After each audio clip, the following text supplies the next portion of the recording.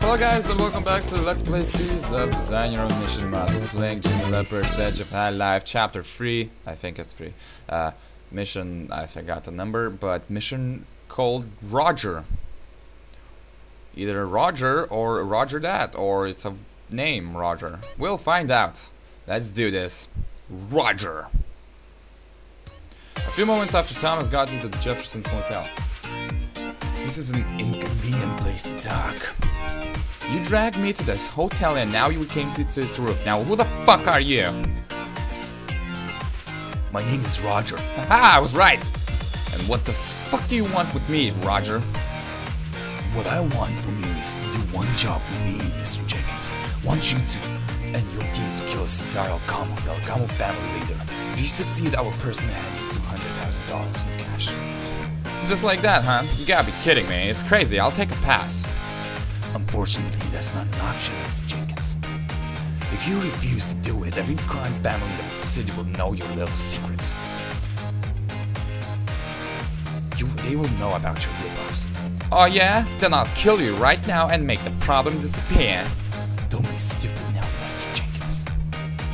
I have an accomplice working with me on this as an insurance policy, so if he doesn't hear from me 10 minutes after we talked, he will reveal your secret. Put the gun down, let's be civilized. Why me and my team? Because I think you're probably the only ones capable of making it happen.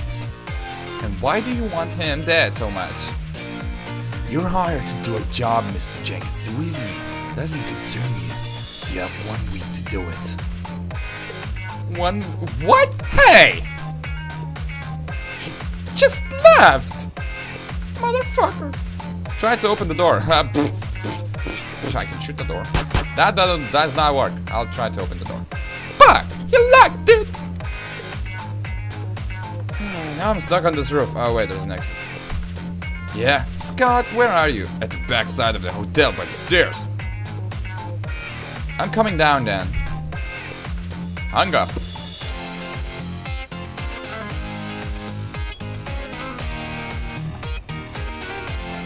So what happened? Hmm, how can I explain this in short? We are fucked! Perfect explanation!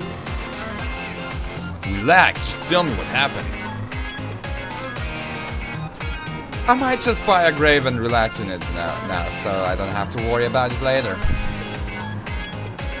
Just tell me what happened, man. Alright, alright. Gosh, such a bitch. Name of the guy who arranged this thing is Roger. He didn't tell me his last name.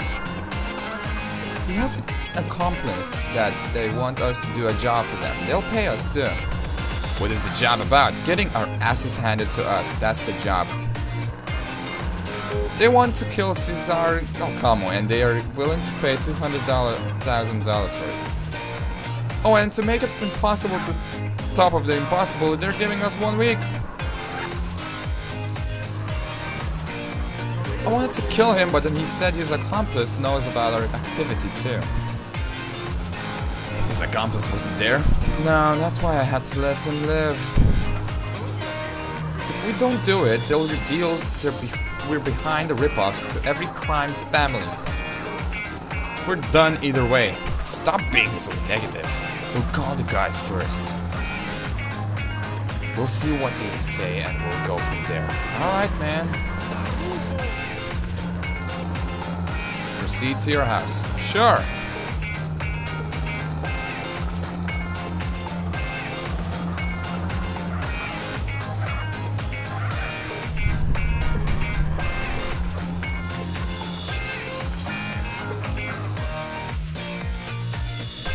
Next morning in front of Scott's and Thomas's house. Come on, Nate, Nate sent a message to come to this place now. Oh, for the love of God! Oh, for the love of God! You're not, you must be joking. Why can't Nate come to us? There! Why? I, I asked it. I asked it. I was hoping I wouldn't have to ask, but I did. Why am I even going here? What the hell am I doing? But I have to ask, why can't Nate come to us? God! You know what? I'm just gonna imagine that Nate is like Lester from GTA 5 and he's in a wheelchair. That's what I'm gonna just imagine and that's why he can't come to us.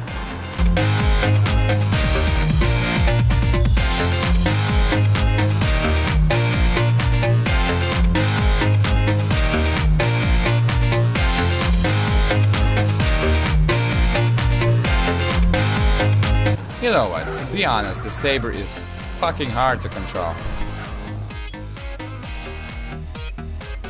Half an hour after Scott and Thomas got to Nate's house. To be honest, guys, I'm not surprised with uh, what you told me about that Roger guy. There's a lot of people who ain't happy about uh, Alcamos being ammunition owners. Ew. But regardless, Roger's situation puts us in a very tough spot. I don't think there's a legit way of us getting out even close, even getting too close, close to Cesar. Not with the things as they are now, and not without at least one of us getting killed. Then how do you think we'll survive even a day once the Roger reveals everything? And that question brings us to the reason why I called you all here today. Last night I talked with my informant from the Takahashi family as scheduled. He told me some interesting things, so... Since we can't get to Cesar on our own, especially not within the time Roger said, there's another way we can maybe make it happen for us. How exactly? By continuing with the plan we're following now. Ripping off the Takahashi family and provoking a war between them and Alcamos. If that happens, the Alcamos will need to get Cesar to safety somewhere. Once that happens, we'll have to make sure to follow them to wherever they go. And once they think it's safe, ambush them. I like it. The only question is, it can it be done within a week? Well, I have a lot of in of info from my, my informant left about Takahashi. Uh, I'll see if I can come up with a plan where and when how to strike them by tonight. Hopefully, I'll see you tonight, gentlemen. To be continued. Well, there we go. Chapter 3 of Edge of High Life. There it goes. Like always, we're gonna have a break. Each, each, each chapter. Anyways, I'm enjoying this quite well. I like the whole heists and stuff. Ripping people off, I mean the families. Uh, you've done really well, Jimmy Leppard. I'm proud of you. Thank you guys for watching. Thank you. Bye!